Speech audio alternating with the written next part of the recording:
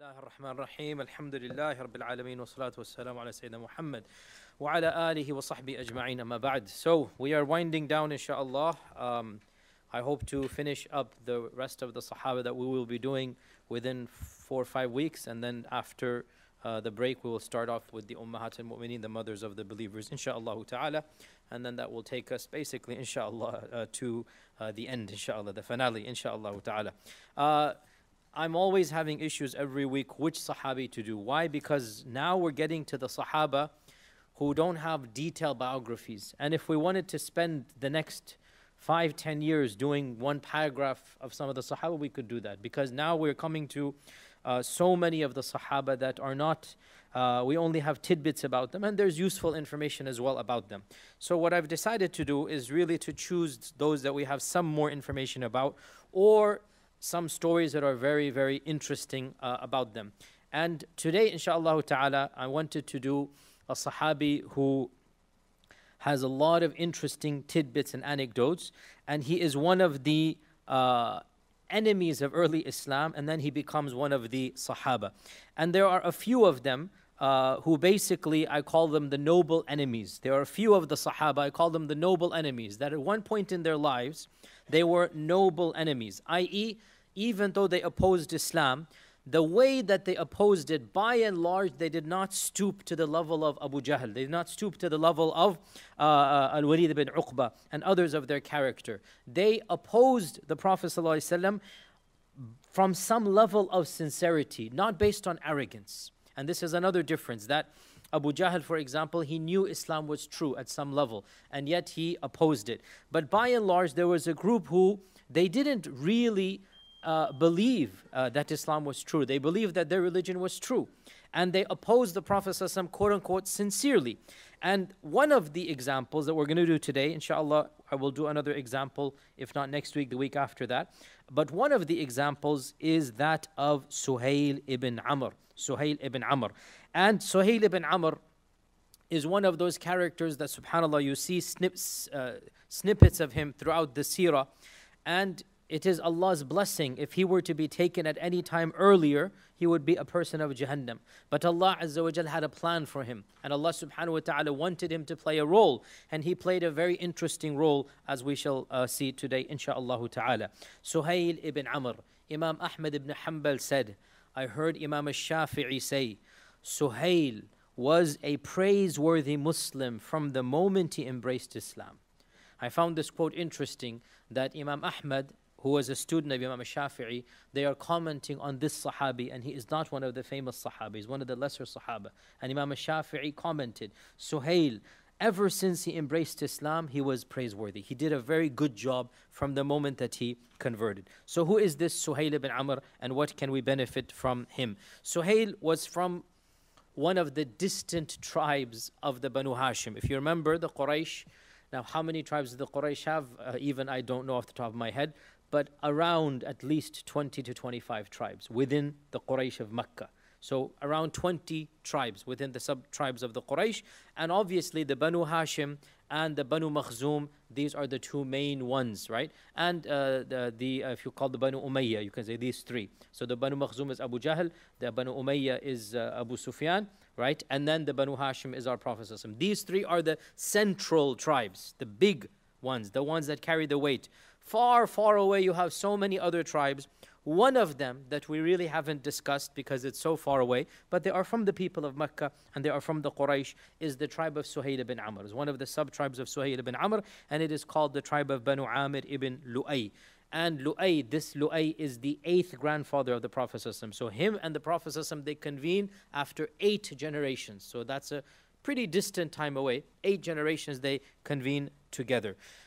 Suhail ibn Amr when Islam came, we don't know exactly how old he was, but we can assume we can assume he was slightly older or a decade older than the Prophet. Why? Because he had already established his seniority. He's already in the Council of Elders, the MP, the Senator. He's already somebody who is represented uh, in the Nadwa Council. So he's a senior member of the overall delegations of the Quraysh, and he was given a title, even pre Islam. He was called the Khatib of the Quraysh, Khatib al Quraysh.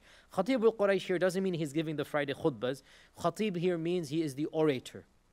So he is not a poet, he is an orator. He can give a khutbah, i.e., he can move you with his speech. He knows how to give a speech that's going to mesmerize you. So he was known as the most eloquent of the Quraysh, the Khatib of the Quraysh. And from the seerah and from the books of the seerah, we learn that he had at least four children, two sons and two daughters are mentioned, and at least three brothers. And we know this because his three brothers, all of them, were from the earliest batch of converts, unlike him. He did not convert till the very end. And his three brothers actually converted even before, at least two of them converted even before Darul Arqam had opened. So they're of the first 40 converts, the very earliest of batches. And their names were Sulayt and Sakran and Hatib ibn Amr. So you have Suhail ibn Amr, Sulayt, Sakran, and Hatim. And these three are of the earliest of batches. And all of them, or maybe two of them, and again, all three of them we don't know anything about other than a brief mention here and there. Uh, they migrated to Abyssinia and they came back and they migrated to Medina and they participated in Badr. And yet, for some reason, we don't have many stories about these three brothers. But the, the, the family, their, their family basically converted other than Suhail ibn Amr. Now, one of his brothers was Sakran. Uh, Sakran's wife was Sauda binti Zum'a, who is our mother, Sauda binti Zum'a. Sakran's wife was Sauda, and they migrated to Abyssinia. He passed away in Abyssinia, and then Sauda becomes a widow. And after the death of Khadija, by one year, or some say two years, most, we'll get to that one year, inshallah. We'll get to that story. Uh, after the death of Khadija, for one year, the Prophet was not uh, uh, single, was not married, and then um, Khawala suggested to him, Why don't you marry? So he said, Who do you have in mind? So she said, I have in mind uh, a widowed lady and a young lady, unmarried lady. As for the widow, it is Sauda, and as for the young lady, it is Aisha. And so Aisha was too, too young to actually marry, so that was happened in in uh, in Medina. But Sauda was the uh, uh mother that uh, he married, our mother that he married, and this Sauda was essentially the sister-in-law of Suhail ibn Amr. Okay, and uh, the Sauda was at that time obviously the sister-in-law, and the person who gave Sauda away, the, the, the wali of Sauda, because again, the Muslim community was small, was another brother of Suhail, and so the brother of his wife, basically the, the um, his, uh, her brother-in-law, and that is Hatib. So Hatib and Sakran both migrated to Abyssinia. Sakran dies. Hatib becomes the wali, because it's his brother's wife. So he's the one who gave Sauda in marriage to the Prophet All of this is happening from the family of Suhail indirectly. Obviously, this is Suhail's um, brothers. Along with these three brothers, Suhail had two sons and two daughters. The two sons, the eldest one is Abdullah ibn Suhail, and the second son is Abu Jandal ibn Suhail. And both of them play a prominent role in the seerah. As for Abdullah ibn Suhail, he converted along with his uncle. So it's interesting to note look at how many converts from that family. And he migrated to Abyssinia along with his uncles. When they returned from Abyssinia, Suhail imprisoned his son Abdullah. So Abdullah becomes a prisoner because he converted to Islam, and Suhail commanded that his servants, his slaves, basically torture his son Abdullah to renounce Islam. So he was locked in the house, he was chained in the house, and then he was tortured. So Suhail is indicating the anger. It's clearly something that is definitely not commendable that he's done, but he is torturing his children, his son, in order to renounce the faith. Abdullah eventually outwardly renounces and he pretends to come back to shirk. Okay, but it's pretending. His father thinks he's back, but as we know, there's a concession given, and he takes this concession. And so he returns back to uh, pract- and basically leaving outwardly the practicing of Islam. And uh, so Suhail therefore believes that his sons are now, uh, n- both of them are non Muslims. His other son, Abu Jandal, at some point in time converts. We do not know when, but this is a secret conversion. So clearly, the elder brother is giving da'wah to the younger brother. Eventually, the younger one also converts, but Suhail does not know. Suhail ibn Amr, his name comes up many times in the seerah. And of the prominent times that shows you who he is and shows you his status is when the Prophet ﷺ returned from Ta'if. And by the way, his name does not come up under any persecution of any other person other than his children. Now, it's not good he persecuted his children, yet at the same time, an excuse can be found that this is his children and he is very hurt that they are leaving his faith and he wants to protect his faith. So the authority of the father over the son is not like the authority of two people in the city. So Suhail did not persecute anybody else. And in fact, he never participated, from what we, what we can tell, in any type of mocking of the Muslims, in any type of derogatory comments against the Muslims. And as I said, that's why we call him a noble uh, enemy. So he's an enemy where you see a sense of nobility. He's not stooping to the level of Abu Jahl. So the next time his name comes up is in the story of Ta'if, when the Prophet ﷺ comes back from uh, Ta'if.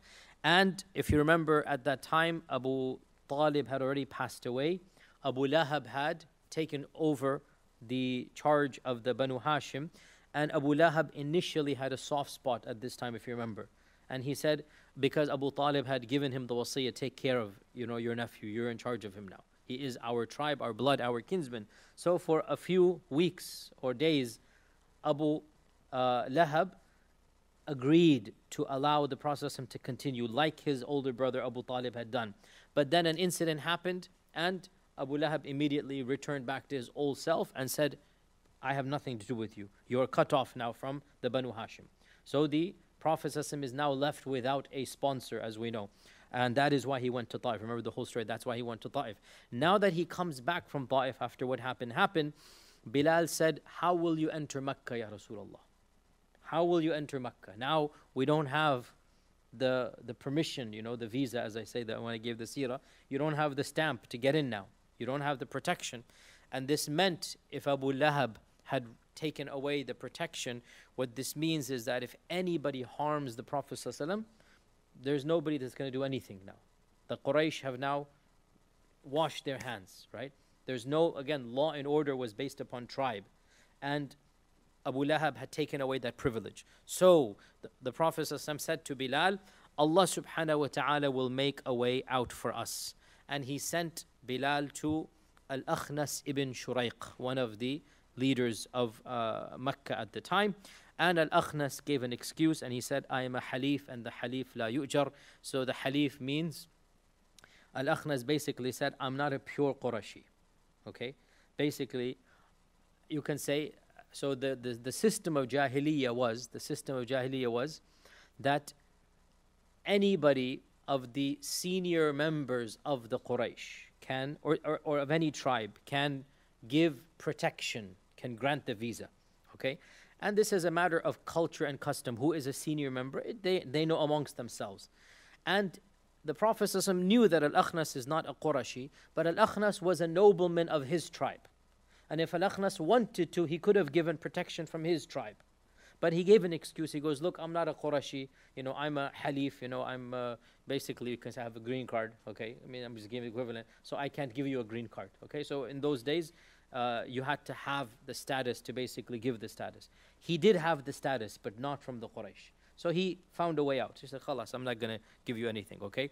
Then the second person the Prophet sent Bilal to was Suhail ibn Amr. So, moving down now, Suhail. Now, Suhail is a Qurashi. Suhail is a Qurashi by blood. Go back seven generations and they meet. But Suhail now, the fact that the Prophet ﷺ sends Bilal to Suhail indicates what? Some nobility. What else? Status. Status, of course, that he's giving the protection. What else? Strong enough, to protect status, but there's you're getting there's something else. Aha. The fact now did the Prophet send something to Abu Lahab? No. He knows Abu, La, Abu Jahl. Did he send a messenger Abu Jahl? No. Why did he send a messenger or Bilal? Why did he send him to Suhail? Because there is a little bit of friendliness, A little bit of, you know what, maybe maybe Suhail will help me now that I need his help, right? This is what I'm trying to get at here. That Suhail and the Prophet there's already a little bit of like, he feels confident enough, okay, let me try Suhail. Okay, and Suhail was pure Qurashi. He wasn't the first choice, he was the second. And Suhail politely said no. And what was his excuse? Again, he had to give an excuse. And again, the fact that he gave an excuse, even if it's a weak one, giving an excuse is better than rejecting and mocking, right? And if somebody comes and asks you for money and say, Wallah, I really wish I could help you, but right now is just a bad time. You know, you give an excuse rather than saying, yeah, whatever, you know, big difference between the two, right? So Suhail gave an excuse. What was his excuse? He said, I am from the Banu Amir, and you are from the Banu Ka'ab, the two brothers, yani Ka'ab ibn Lu'ay, Amir ibn Lu'ay. The Prophet is Ka'ab ibn Lu'ay, and he is Amir ibn Lu'ay. So the two brothers, seven generations back. And he goes, it is well known that the Banu Amir cannot protect the Banu Ka'ab. Okay, meaning that we are not as superior to you guys.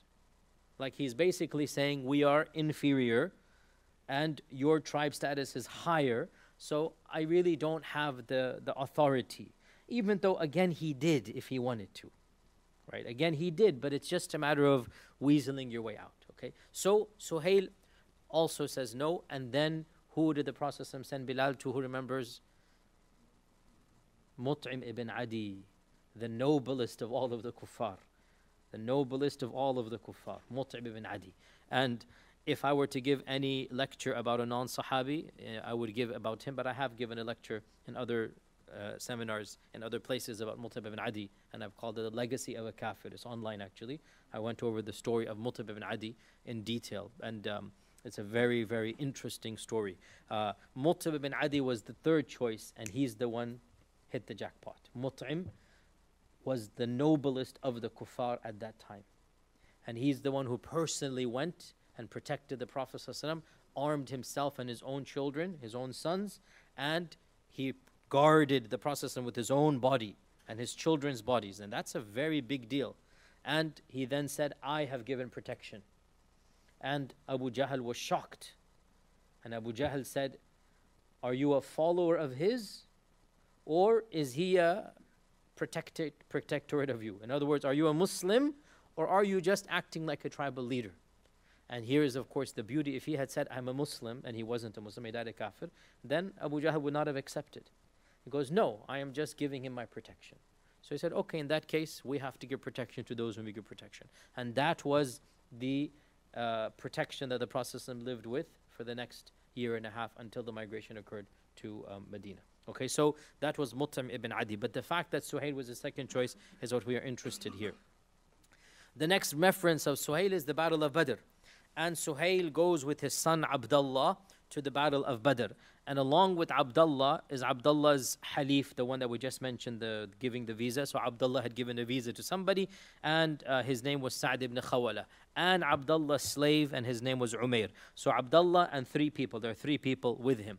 And when they camp before the battle of Badr, and the two armies are facing one another, Suhail wakes up to discover all three of the people with him in the tent have disappeared. Okay, so Abdullah and his best friend and his slave have done what? Defected to the right side. They have disappeared and defected to the right side. And this indicates so many things.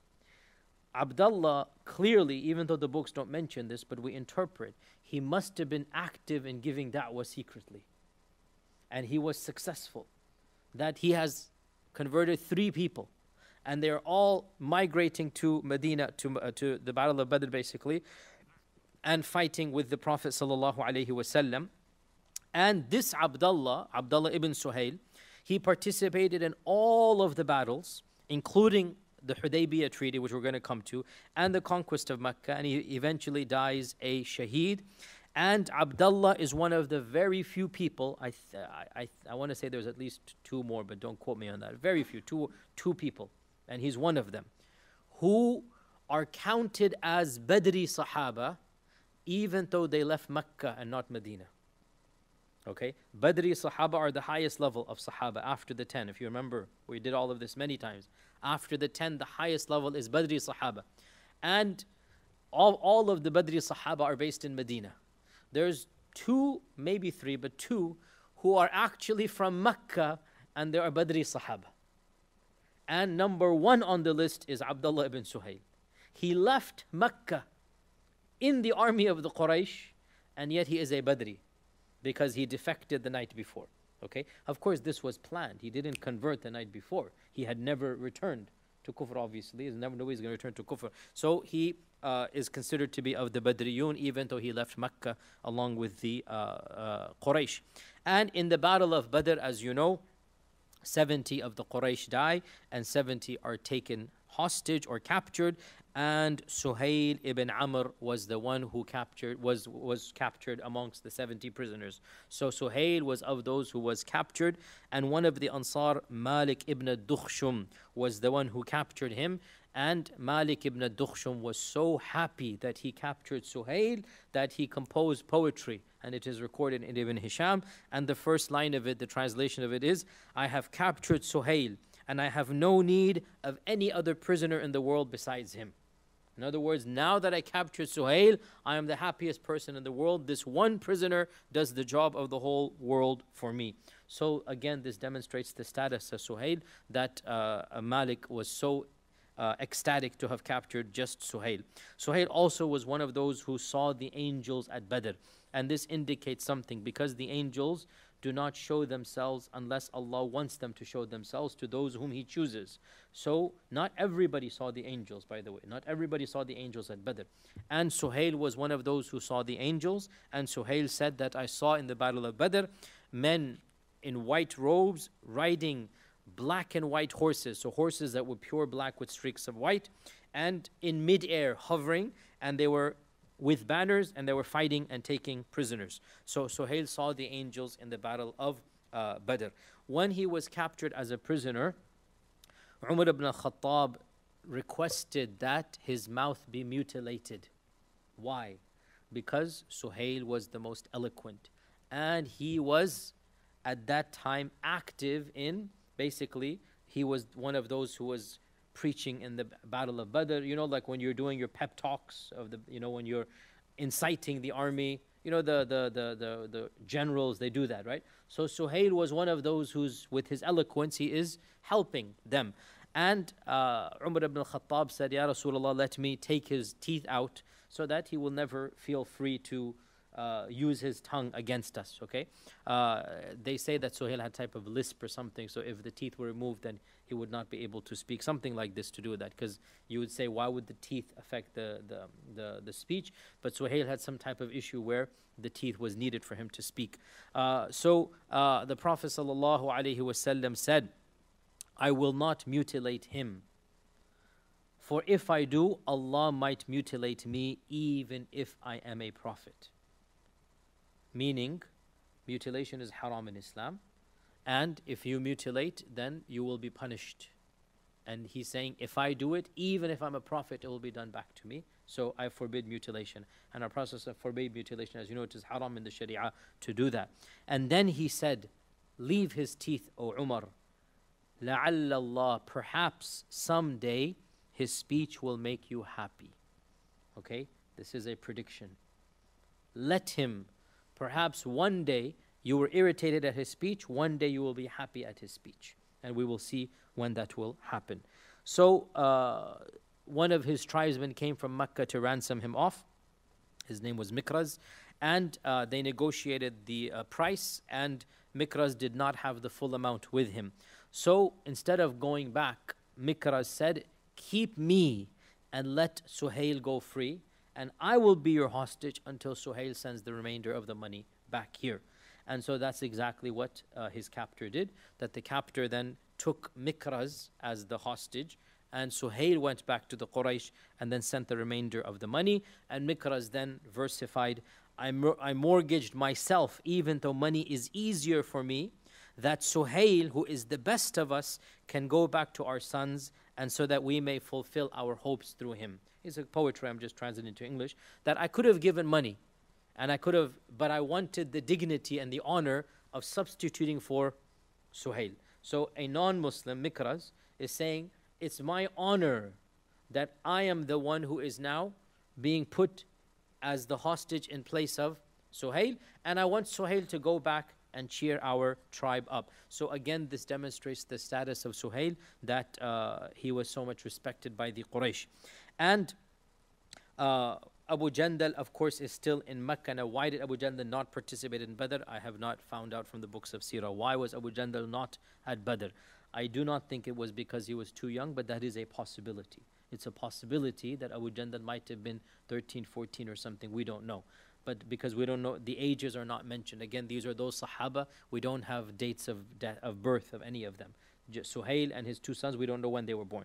It is a possibility that Abu Jandal was maybe 13 years old or something, such that when Hudaybiyah happens, so now he is baligh. And it is a possibility that was a legitimate excuse and Abu Jandal is not participating. Abu Jandal was not at Badr. His older brother Abdullah was in Badr. Okay? So, the next incident that is mentioned, we fast forward, and that is the Treaty of Hudaybiyah. So, for four years, Suhail's name is simply not mentioned. And therefore, it appears that he did not participate in Uhud and he did not participate in any other major incident. It appears that he's now, you know, um, living his own life. Again, he's not one of the worst enemies. He did things that were definitely very bad, and we're going to come to some of them, but he's not one of the worst enemies of Islam at this time. And the next major incident that um, uh, is played is that of the Treaty of Hudaybiyah, and of course, is one of my favorite incidents. I've talked about this, I think, in four or five lessons we did. I'll just quickly mention some of the main stories from that treaty. The Treaty of Hudaybiyah, of course, took place in which year, guys? Everybody should know. This is basic stuff. Which year? No, that's Mecca, conquest of Mecca. Sixth year. Hudaybiyah is sixth of the Hijrah. Eighth is conquest of Mecca.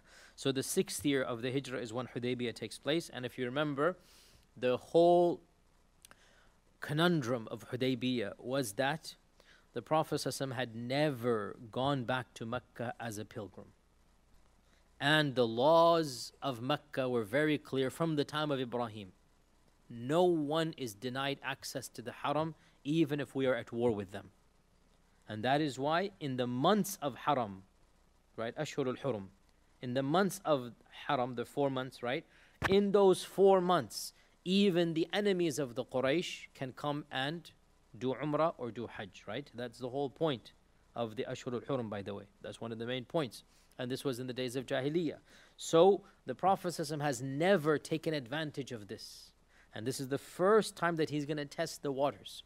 And so, in the sixth year of the Hijrah, 1,400 of the Sahaba, they abandon their armor and they do not have their fighting weaponry that they would typically have. And they march in ihram with their animals of hadi.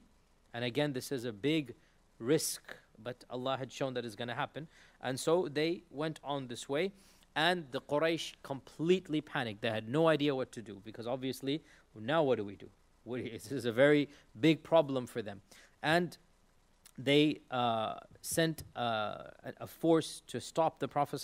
The Prophet heard about that and he waylaid them and he basically camped at Hudaybiyah, which is right outside of the city of Mecca. And if you go to, um, if you go these days to Hudaybiyah, it's like a 20 minute drive you know and you, and you will and you will literally if you're going to Medina there will be a sign that says Hudaybiyah exit and if you go there 10 minutes you'll get there so it's a very short distance outside that's where the prophet ﷺ camped so the, he camped over there and this was when the Quraysh sent multiple uh, emissaries, right? Multiple envoys, one after the other. Ibn Hisham mentions three or four, and some books of Sirah mention six or seven came, one after the other, one after the other, and each one ended up in failure. Every one of them ended in failure. And the stalemate becomes longer. And Uthman ibn Affan is delayed. And the Treaty of Ridwan or the Bay'at al Ridwan takes place. All of this is taking place until finally the Quraysh decide we now need to send the negotiator. And who do they choose? Suhail ibn Amr. So again, we get to now the status of Suhail. When all of the other emissaries fail one after the other, they need to choose an eloquent leader whom they trust to safeguard the interests of the Quraysh. And so they send Suhail ibn Amr and they say, whatever conditions you give him, the one condition that must be there is what is the one condition the Quraysh said? nothing this year. Next year you can come. This year you are not allowed to come so that the Arabs not say that the Muslims were able to come in. We have the upper hand. That's the one condition we have. The rest, up to you. We can give you some leeway. Okay, that was the one condition. And so this is when Suhail came uh, as the appointed emissary. And when the Prophet ﷺ saw Suhail, he cheered up. And this is another sign as well of the status of Suhail. He was happy and optimistic, and he derived a positive omen from the name Suhail. And he said, قَدْ جَاءَ سُهَيْل that Suhail has come, Sahula alaykum amrukum, your affairs have now been made easy. Because Suhail means the easy one, the gentle one, and Sahel is easy. Suhail is the gentle one, the easy one. So he derived a positive omen from the name of Suhail, that this is the easy one, now your matter will become easy for you. And so Suhail ibn Amr uh, came, and this was when. Um, they finally agreed and uh, Suhail and, and uh, the Prophet called Ali ibn Abi Talib and he said, okay, write down what we have agreed. So after, I'm obviously making this very short because I went over this in a lot of detail in the seerah, you can look it up. And the verbal agreements that they had done between the Prophet and Suhail, now they're going to write them down. And this was when uh, Ali ibn Abi Talib was taken as the scribe and the Prophet said, write down, Bismillah ar-Rahman ar-Rahim. And Suhail said, no, I don't know this phrase. Rather, write it the way we used to write it. Bismik Allahum. So the Prophet said, okay, fine, write Bismik Allahum. Then he said, write down, this is what Muhammad Rasulullah has agreed with Suhail ibn Amr. And Suhail said that if I thought you were Rasulullah, I would not be fighting you now, or I would not be stopping you now. Okay? delete this to Rasulullah. And this is one, of course, the famous thing that Ali and the Prophet, they both said no. I mean, uh, sorry, Ali said, I'm not going to delete it. And so the Prophet himself uh, erased it and he said, I am Rasulullah even if you say, even if you refuse to acknowledge it. So this is what Muhammad ibn Abdullah وسلم, agreed to with Suhail ibn Amr. So his name is in the Treaty of Hudaybiyah. Suhail's name is in the Treaty of Hudaybiyah. And they and they write down that we shall uh, agree to stop any fighting between us for 10 years, and for 10 years there shall be peace and security between us, and then the conditions go on and on, and then they get to that famous phrase where uh, whoever, uh, where uh, whoever wants to enter into a peace treaty with the Muslims can do so, and whoever wants to enter into a peace, treaty with the uh, Quraysh, they can uh, do so when they had write, when they were writing this phrase down, that was when the famous incident took place of Abu Jandal, the other son of Suhail and the brother of Abdullah. Now, subhanAllah, is one of those weird scenes, really bizarre scenes. Abdullah ibn Suhail is in the delegation of Muslims. Suhail is the emissary. And now Abu Jandal, the other son, comes from, the, from Mecca. What a bizarre story, right? One son on this side, one son coming from that side, and the one person who is the emissary, he is the, uh, you know, the father of the both of them. And Abu Jandal had been chained up and been deprived of food and water and been beaten by the slaves. Again, the same thing that he had done with his older uh, brother. Now, when Abu Jandal heard that the Muslims are in Hudaybiyah, he managed to take off the chains from the wall, but his hands were still in the chains. His hands were still in the chains. And he came to the Muslim camp as so his own father Suhail. And ironically, he would not have known that the Quraysh have chosen Suhail. This is all from Allah's qadr, right? And imagine again Allah's qadr that the, every book of Sirah says the same thing that as soon as they finished writing this phrase, right, that was when Abu Jandal appears from the horizon. I mean, if this is not Allah's qadr, then what is, right? This the, the, the setup is divine. You cannot create this scenario. It is from Allah subhanahu wa ta'ala. And Abu Jandal sees the Muslims, and then Ibn Hisham has a really moving paragraph. It's actually very, very uh, painful. Ibn Hisham goes into a tangent here, and he says that the Sahaba of the Prophet sallallahu alaihi wasallam, their spirits were high. They believed in the dream of the Prophet ﷺ, and they were certain that they would be doing tawaf that year. So their spirits were very high. But now, when they realize that they're going to be going back, what happens? The whole mood has been there, there's, there's depression, there's sadness, there's whatnot. And this was almost about to destroy them. And then at that point in time, they saw Abu Jandal, the son of Suhail, with the wounds and the blood and the chains coming in. Like the melodramatic scenario is unbelievable. That they're already hurt and they're in grief and they're in anger and they're in shock. And now to make matters worse, Abu Jandal is, I can't say the icing on the cake is the opposite, right? Is the camel that, or the straw that's breaking the camel's back.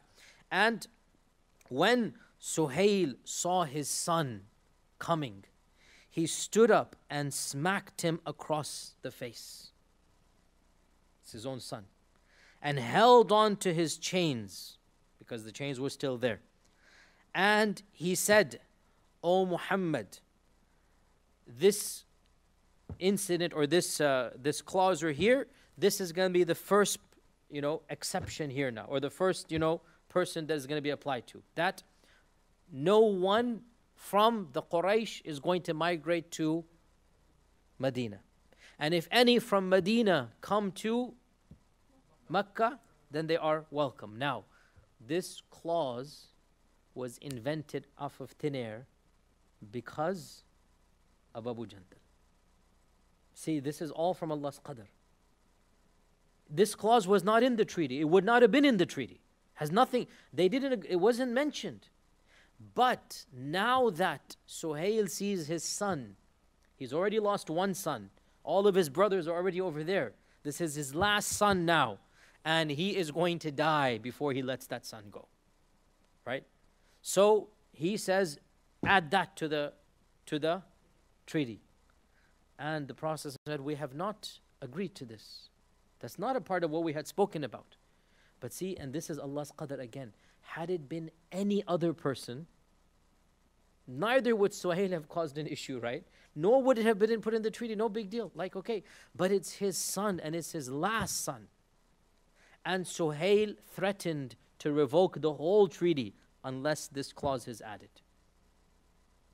And the Prophet ﷺ went back and forth, back and forth.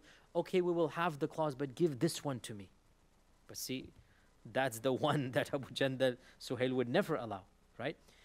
And some scholars mention that never did the Prophet go back and forth. I don't want to use the word begging because it's not appropriate, but never did he plead so earnestly as much as he did for this one person. But who is he pleading with? the father of the person. Right? What's going to happen here? Impasse is not going to happen. And so the Prophet ﷺ felt there is nothing for him to do other than to agree. And this was when Umar radiallahu an, that's the whole story there. That was just too much to bear. Too much to bear. You, you know what happened with Umar radiallahu an? There's one of those awkward things again, yani. Uh, it needs to in the sira we mentioned it no need to mention all of it over here but again the emotional like the the whole story is just so emotionally charged at this point in time and umar radiallahu anh, after he did what he did then he stands up and he walks towards abu jandal like literally while the treaty is still being going on and he says to abu jandal be patient o abu jandal these people anyway they're mushrikun and their blood is not worth the blood of a kalb. What's the big deal, right? And he points to his sword because the muhrim is allowed a traveler's sword. They had two types of swords the fighting sword and the traveler's sword. The traveler's sword is to protect yourself against animals or something like this. And he points to his sword, Abu Jandal. It's like he's saying, Yani, if you want, you can take it because he don't, doesn't want to hand it to him, right? So he points to his sword, meaning take the sword and be done with it. You know, the, I, I can't do it, but you uh, can do it here. But um, his father then pulled him back, and, uh, and Abu Jandal was not, I mean, we do not know if he would have even done it or not, but basically uh, that did not um, happen. And so, because of this, uh, of course, uh, Abu Jandal was returned back to Mecca. And as he's being returned, Abu Jandal shouts out to the Muslims and uh, he says that, uh, Will you return me back to kufr and you see what they have done to me? And the athar of the torture were clear on his body. I mean, it's such an emotional moment here. right? And it's his own father dragging the chains back. And the Prophet ﷺ said, Allah will make a way out for you. And what else can I do? Allah will make a way out for you. And this really obviously hurt uh, the Muslims psychologically. And the battle, uh, the Treaty of Hudaybiyah is definitely one of the most interesting uh, incidents of the seerah that, especially in our times, we need to think about over and over again because of all of the benefits.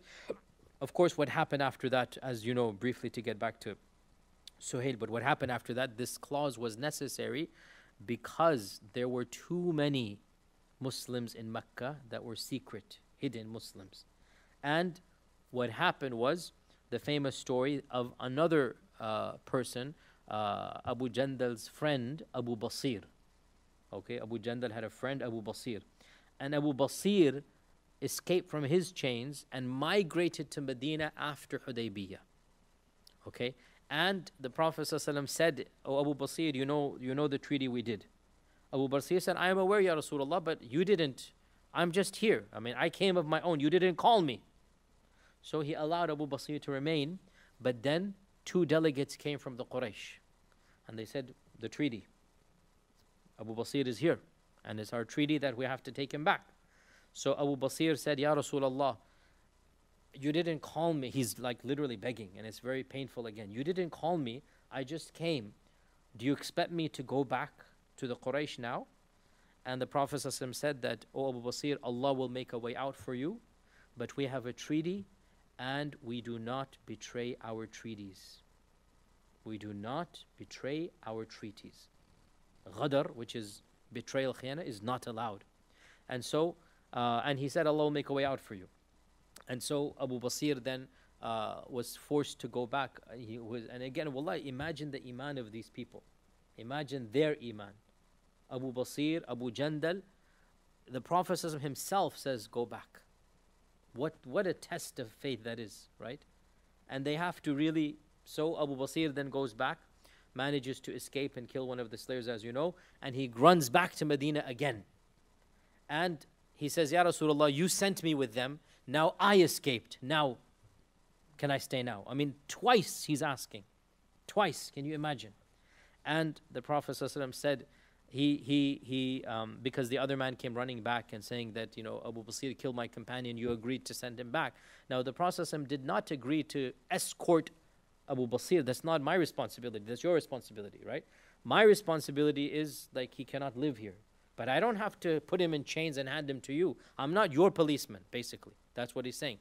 And so he's, he said to Abu Basir, what a power, and it's a famous phrase uh, that مشعل حرب ويل أمه مش مساعر حرب لو لو كان لو كان عنده رجال that it basically translates as your mother would be proud of the army you can raise if you had an army to raise, if you had people to help you, right? And basically, you would be a mighty warrior if you had people around you. Or you would cause a great amount of, you know, pain or victory or whatnot if you had a helper, meaning I cannot help you. That's an indirect way of saying I cannot help you. So Abu Basir got the point, and he then fled Medina on his own to go find refuge in an oasis outside of Mecca. And the news spread that Abu Basir is in that oasis, and so Abu Jandal escaped again and teamed up with his friend Abu Basir. And one by one, all of the mustada'afin, all of the secret Muslims, 70 in number, they fled, but they cannot go to Medina, so they went to that oasis. And that oasis became the refuge center where the 70 would then harass the Quraysh, attack their caravans, until finally Abu Sufyan himself sent a message to the Prophet please, for the love of God, take these 70 and put them back in Medina. See, that needed to happen, or else those 70 would not have gotten permission to get to Medina. That, the, the whole qadr of Allah, of Abu Basir, of Abu Jandal, excuse me, the whole Abu Jandal issue was meant to save those 70. Because if that hadn't happened, then Abu Sufyan would never have said, please just take them Otherwise, they would not have had that way out. And so as Allah's qadr works in his in his ways beyond our knowledge. So the point is that uh, this is the story of, of, of the Hudaybiyah. And Allah subhanahu wa ta'ala revealed in the Quran a verse that Ibn Ishaq says is a reference to Suhail ibn Amr. Allah says in the Quran, Surah Al-Fath, Allah says, إذ جعل الذين كفروا في قلوبهم الحمية حمية الجاهلية Recall when the people of Kufr, their hearts were filled with the Hamiyya. And Hamiyya is basically there's no one English word for it, but it basically means a pride of jahiliyyah. That's literally called a j- hamiyyat al-jahiliyyah. It's basically our version of extreme nationalism or fascism or pride in one's ancestors, right? I am this and you are that. This is hamiyya. It's a type of uh, bigoted partisanship. It's a type of, of, of, of backwardness. Racism is a type of hamiyya, okay? Or being proud of one's ancestors, hamiyya. And so Allah says, remember when those people, some of them, their hearts were filled with a hamiyya, like the hamiyya of jahiliyyah. Ibn Ishaq said, this ayah was revealed for Suhail ibn Amr. When he refused to write Bismillah ar-Rahman ar-Rahim, and he wrote Bismik Allahum. Because what's wrong with Bismillah ar-Rahman? He could have done that.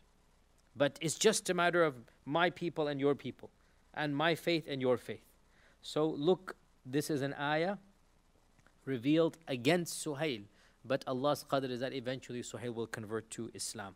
And uh, two years later, in the conquest of Mecca, Al-Dhahabi reports that when the Prophet ﷺ was entering Mecca, he said, Four are the people I consider them to be free of shirk. Four are the people I'm hopeful for them before entering Mecca.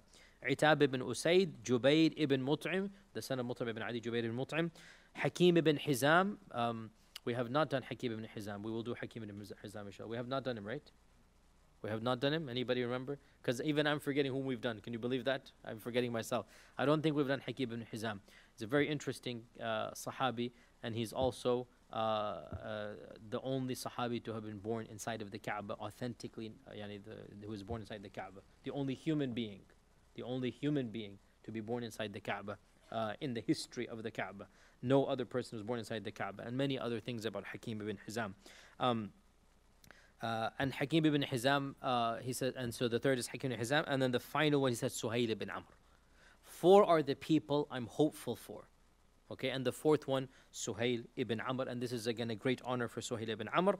And the army marches in, as you know, and the Prophet divided the group into three. He was in the middle, and Khalid ibn al-Walid uh, was leading on the right flank, and uh, uh, um, there was a, a left flank as well. And Khalid ibn al-Walid was the only flank to catch some battle, some minor skirmishes took place. Some of the final chieftains of the Quraysh refused to give up so easily, and amongst them were Abu Sufyan and Suhail ibn Amr. They were of the very few who actually gathered together a group and fought with swords when Mecca was being conquered. Some blood was shed. Maybe five people's lives were lost. Very few. It's a very minor thing in the end of the to conquer Mecca and handful of people lost really is a peaceful conquering. But there was one skirmish, just one skirmish. And who's leading that skirmish? Abu Sufyan and Suhail ibn Amr. And this again, the reason being is very obvious here. They are the leaders. And the leader does not surrender. The leader, it's a matter of ego and pride for your own leadership. Like you have to just die. If you're gonna die, like, go ahead and die, right? So Abu Sufyan and Suhail ibn Amr, they gathered whatever they could, and they were the only group to physically fight against the Muslims in the conquest of Mecca. And Khalid ibn Walid dealt them a very severe blow. A few of their party members were killed, and when they realized that all hope is lost, they then fled for their lives. And Suhail returned back to his house and sent a message to his son Abdullah to come immediately. Abdullah the Muslim. So Abdullah, somehow the message gets to him and he comes and Suhail then says, finally he agrees to surrender. And he says, Can you go and seek protection for me by name? Because he is not a regular Qurashi, he is of the elite. So he says to his son, Go to the Prophet and see if you can get protection for me. So he's now he's agreed. After the battle is lost, now he's agreed to basically surrender, not to accept Islam. to surrender if my life is protected. And so Abdullah goes to the Prophet ﷺ and gets a exception. As you know, when the conquest took place, six were the people who were not forgiven, and even of those six, three were forgiven. So only three people were actually executed at the conquest of Mecca. Everybody was forgiven, and so Suhail was also forgiven by name. And uh, that was when the Prophet then called all of the Quraysh in front of the Kaaba, as you know. This was the famous uh, incident where uh, before the Salat al-Dhuhr basically, it's the, the sun is coming up, and uh, all of the Quraysh gathered in front of the Kaaba. And this was when the Prophet stood in, on the door of the Kaaba and he said that, uh, what do you presume I should do with you? What do you think I should do with you? Right? And there was dead silence. Who's going to speak? What's going to be said? Until finally Suhail ibn Amr stood up. And again, this demonstrates many things his nobility and his intelligence and even his confidence in himself. To be the one who stands up at this time when everybody is quiet. Even Abu Sufyan didn't say anything. Nothing. Dead silence. It is Suhail who stands up. And he gives that eloquent response. And again shows you he is the khatib. That's why he's the khatib of the Quraysh. That eloquent response. We think good and we say good. You are akhun kareem wabnu akhin kareem. It's one phrase, but it's powerful. What do you think I'm going to do to you? Silence. Suhail stands up after a while. We think you're going to do good, and we say you're going to do good. You are an akhun kareem, and you are the son of an akhun kareem. Your father, we knew him. Your grandfather, we knew him. You're one of us. Of course, you're going to do good to us. And what a powerful, brave thing to say. And of course, he was correct in that. That's when the Prophet said, اذهبوا فأنتم طلقاء لا تثريب عليكم اليوم يغفر الله لكم. you know, go for you're all free. I'm not going to harm you. I'm not going to enslave you. I'm not going to kill you. Your lives, your properties, all of this is yours. Nothing will happen to you. You are free. And that's why that batch is called tulaqa. And that is the lowest batch of Sahaba. The highest batch are the 10, then the Badriyun, then, then, then, then. And the lowest batch of the Sahaba are the Muslimatu Fathi Makkah or the tulaqa. The very last batch that accepted, and this is the batch of Suhail. This is the batch of Suhail. And Suhail just gets that honor of being a Sahabi, but from that batch of tulaqa, he is definitely of the highest. Why? We will come to now. So it was at this point in time when Suhail, perhaps grudgingly, we don't know, Definitely Abu Sufyan grudgingly accepted Islam. Definitely. Definitely um, so many of the other uh, leaders of the Quraysh, um, Al-Hakam ibn As, the father of Marwan, grudgingly accepted Islam, right? The Banu Umayyah. So the Banu Makhzum chieftains, the Banu Umayyah chieftains, very grudgingly. They are not really into it right now. Suhail, we don't know, did he do it grudgingly or willingly? At this point in time, we do not know.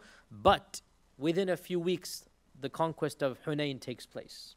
And what happened after Hunain? Who remembers Hunain? What was the famous thing of Hunain? After Hunain, what happened? The amount of booty in Hunain was more than any other battle. Right? It was it was insurmountable, uncountable wealth was Allah blessed the Prophet right after the conquest of Mecca with the equivalent of yani, like a billion dollars, let's say. I mean, just an inconceivable amount for our times and even for that time. And with that amount of wealth, and the conquest of Mecca is fresh, like literally a few weeks. These are brand new. So the Prophet ﷺ made a small list of people, instantaneous multimillionaires instantaneously, a small list, they were made multimillionaires. Number one amongst them is Abu Sufyan.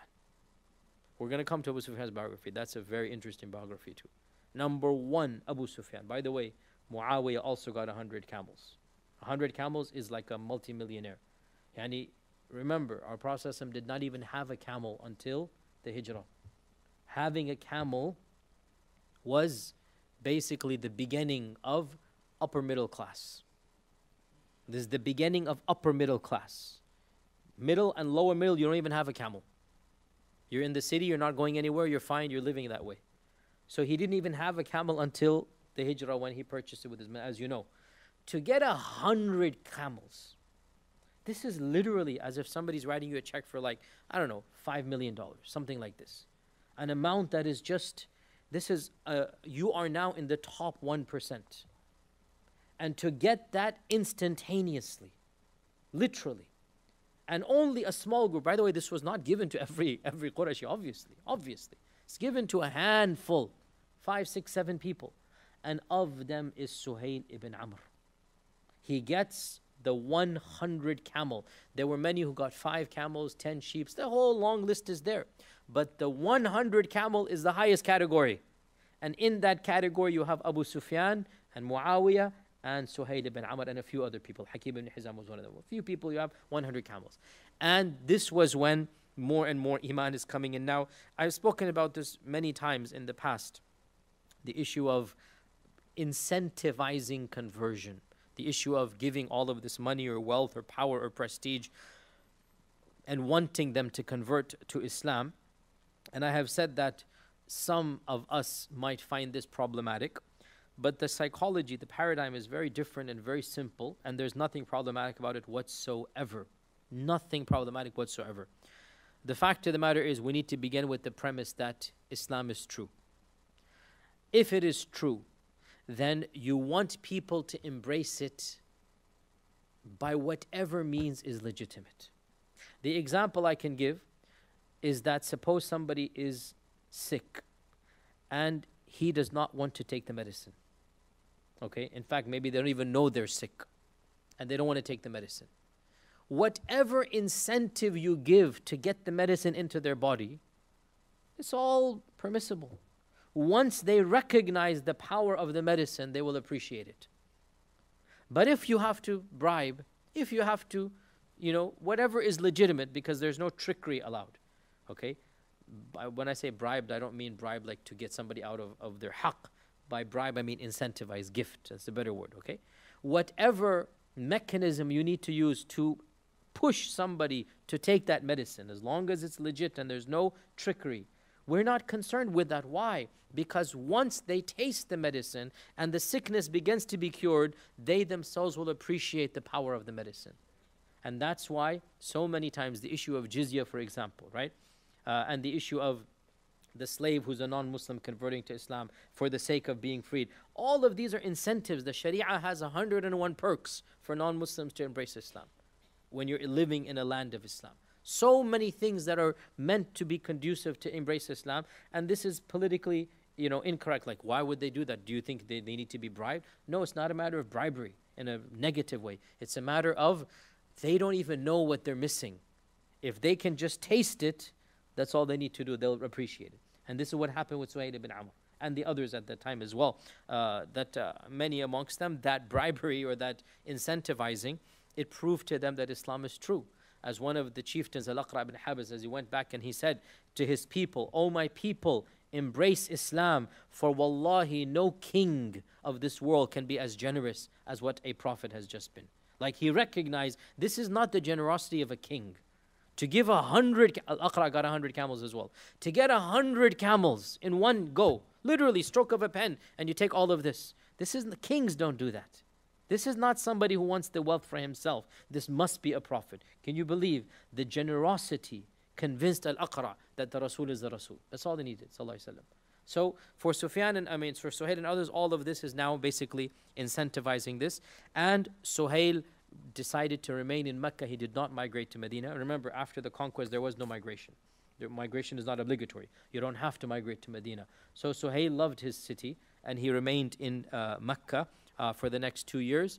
And it was at that point in time when the news of the death of the Prophet ﷺ reached them in Mecca.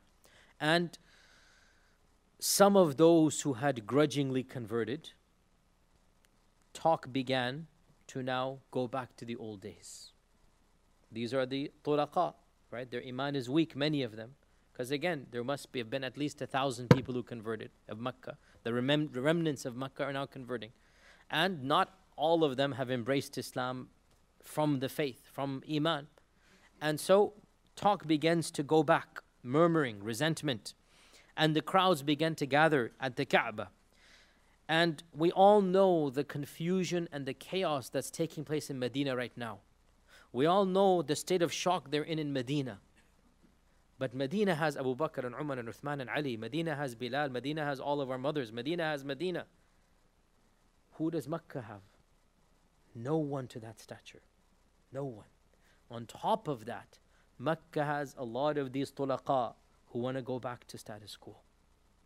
And that talk and murmur begins to grow until finally the governor, uh, Utab ibn Usaid, whom the Prophet had appointed as the governor, so this was the governor of Mecca, appointed by the Prophet. Utab himself started fearing for his life. I'm going to be killed. These people are going to kill me. And he disappeared and went into hiding because he felt his own life was in danger because of all of the growing discontent of going back to the good old days or whatever, you know? And it was at that point in time when the prediction of the Prophet to Umar is going to come true. Leave him, for perhaps he will say something one day that will make you happy. This was the moment that Allah Azza had wanted for Suhail to redeem himself. Now he is the senior most Qurashi alive from the good old days. I'm saying good old days, being sarcastic. His good old days, or their good old days, right? This is the real bad old days, right? But from those people that are murmuring, they want the old days. Suhail is Suhail. And his voice is not like the voice of these youngsters. Suhail stood up in front of the Kaaba and he gave a khutbah. Unfortunately, it is not recorded in detail. It just says that he gave a moving sermon. That's all that we find here, unfortunately. But you can imagine the khatib of the Quraysh now has to become the khatib on behalf of Islam in Mecca. He gave them a khutbah and he used the phrase of Abu Bakr in Medina. He quoted it and he used it in Mecca. من كان يعبد محمدا فإن محمدا قد مات ومن كان يعبد الله فإن الله حي لا يموت this is that famous phrase that Abu Bakr used. He becomes, if you like, the Abu Bakr equivalent now in Mecca. And in front of the Kaaba, he utters those phrases that even if the Prophet has died, Islam has not died, and Allah Azza will never die. And it was his khutbah that stirred in the people whatever iman that was there. And so, Alhamdulillah, they consolidated, and the governor managed to now come back and basically reclaim order. It was, therefore, Suhail ibn Amr who, by the help of Allah, saved the day. And this was again the uh, point of yani, what the Prophet has said to him. And uh, his son Abdullah uh, was in Medina at the time, and he participated in the battles of Abu Bakr, and he passed away the next year, the 12th year of the Hijrah, fighting against uh, uh, Musaylim al Kadhab in the Battle of Yamama, and Abu Jandal as well. He became a mujahid after uh, uh, in the days of Abu Bakr and Umar, and he too died fighting the Romans in Syria, and the both of them died without children. And so he witnessed, or he knew, or he heard of this death of his children in his own lifetime. And because they died without children, so he as well would then die without any family. So he did not have any family after that. Khalas, his lineage came to an end. And uh, after the death of the Prophet ﷺ, he made a promise to himself, even though he loved Mecca, because he was of the, it is his city. He's the leader of the city, one of the leaders, and he even did not live in Medina. He only lived in Mecca. And he made a promise to himself and the people around him heard it. He goes, I heard the Prophet ﷺ, uh, say that for one of you to stand one hour of your life in the path of Allah, it is better than all of a lifetime of deeds if you are with your family. So I shall remain in the battlefield until I die, and I shall never return to Mecca. So after the death of the Prophet he made a promise that I'm always going to be fighting in the jihad against the Romans and the you know the, the other people until my death comes to me. And he said, I swear by Allah, For every time I have stood with the mushriks against the Muslims, for every time I will now stand with the Muslims against their enemies. And for every penny that I spent with the mushriks against the Muslims, I will now spend for Islam to defend against its enemies. Perhaps Allah will use my later affairs to forgive my earlier ones. This indicates Suhail's Islam became 100% genuine. We see this, that's what Imam Shafi'i said, as I quoted in the beginning, and Imam Ahmad, that as soon as Suhail embraced Islam, his Islam remained praiseworthy. It wasn't so and so. He began his Islam genuinely from the uh, conversion. And one of his most profound comments, uh, which really shows his Iman, and it's recorded in multiple books of history, uh, really shows his level of Iman and Yaqeen, was that at one point in time, after the death of the Prophet ﷺ, a delegation of the Quraysh, including Abu Sufyan, they had to visit Umar for some affairs, some issues, whatnot. So, Suhail ibn Amr, Abu Sufyan, and some of the old school, old guard, they travel from Mecca to Medina to get some, you know, whatever was needed from Umar ibn al-Khattab.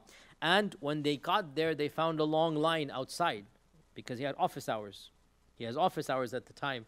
And it was the custom of Umar ibn al-Khattab to treat people or deal with them in accordance with when they had embraced Islam. In accordance with when they had embraced Islam. And therefore, if there's 10 people outside, the first person to be given audience would be the earliest converts. And it so happened that that day outside the door of Umar ibn al-Khattab were people like Bilal, and some of the other earlier converts that were not from the Quraysh. And Abu Sufyan, along with his companions, began grumbling when they saw Bilal and others allowed in, and everybody is going in, and they were the last batch to get the audience with Umar ibn al-Khattab. Think about that. Abu Sufyan is not given priority over Bilal. Think about that. And Abu Sufyan feels it and he grumbles and he mutters and he's frustrated. And it was at this point that Suhail turned to them, his own batch, because he is with that batch, right? The last batch. And he says, rather than getting angry at them, you should be angry at yourselves. The same people that went in, they were invited to Islam at the same time as us and they hastened to accept it, but you delayed and stayed behind. So then, what do you think will happen when the doors of Jannah are opened and people are called into Jannah? This is what you call Iman. Like, what a slap on the face. And what a sense of fear for himself. You're getting angry at them, but we were invited to Islam all at the same time.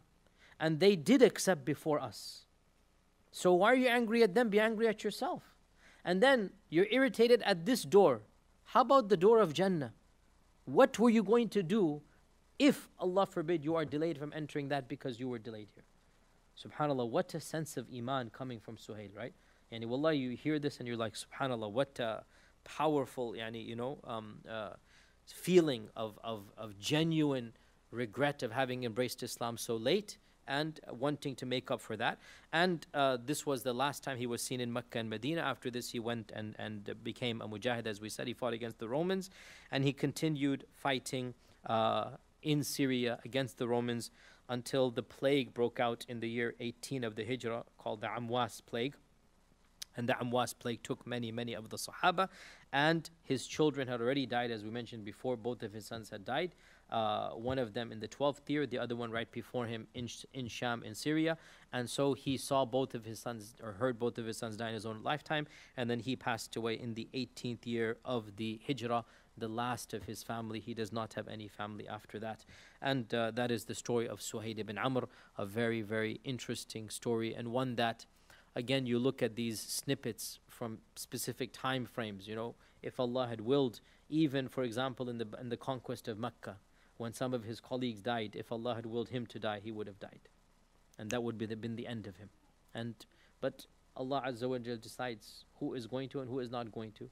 And there are people whom, you know, they have done in their lives. I mean, he's torturing his own sons to protect his dynasty. And again, this is not to excuse him, but from his faith tradition, from his feeling, he wants to protect his family. And he is loving his family. That harshness is not meant to kill his sons, it's meant to bring him back, them back to his way. That's what he wants to do. But in the end, he realizes what is true, and his sons both die shaheed in his own lifetime, and then he eventually dies a shaheed as well. So Suhail ibn Amr is one of the noble companions, uh, uh, the noble enemies who became one of the companions of the Prophet sallallahu alaihi wasallam. And with that, inshallah ta'ala, we come to the conclusion of Suhail, and then next week we will continue. Uh, maybe we'll do one of the other noble companions, or maybe we'll do, as we had mentioned in the beginning, some of the Sahaba are left. We'll see who is left, inshallah. Any quick questions for today for Suhail ibn Amr? Anything from Suhail ibn Amr? Any hadith from Suhail ibn Amr? No, none. Because he, uh, his both of his sons passed away very early, and he himself passed away in the time of Umar ibn Khattab. Uh, none that I'm aware of. I looked up. Uh, he is mentioned in the hadith as a character, but he did not narrate hadith. Okay, he is mentioned. Other people mentioned Suhail, but he himself did not narrate hadith. And um, as uh, I looked up the six books and Imam Ahmad's Musnad, if there's anything beyond this, which I really doubt, because I looked up a number of books, um, but uh, no, he did not. Okay, Fadda Sheikh.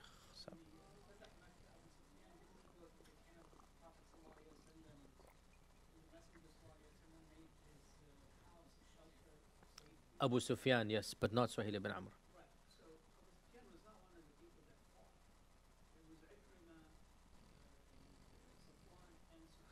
Wallahi, that is a very interesting point because it is mentioned.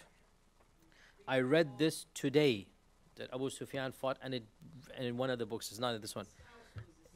Exactly. You know what? I have to go back because exactly, exactly. I, you know, you're absolutely right. And yet, literally two hours ago, in one of the books, it mentioned Abu Sufyan, and it could be, a, it should be a mistake then. Yeah. No, no, that that's definitely a valid point. Yeah, yeah, that's definitely a valid point. So it could be, it could be that the book that I uh, am quoting from didn't say Ikrima, it said Abu Sufyan. Okay, uh, it could be.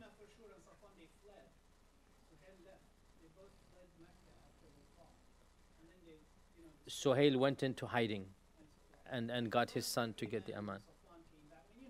Yeah, so uh, Ikrima, we will do his story inshallah in two weeks inshallah. I already have I already have Ikrima in the slot by the way. He will be one of those interesting stories.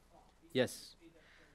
So I will go back and look because I am right now 100% sure that in one of the books I read his name was there, but you are absolutely right, it doesn't make any sense. And not only that, but he technically converted right before, right before the Fatih. So you're right, that is a mistake. Jazakallah khair. Other questions or comments?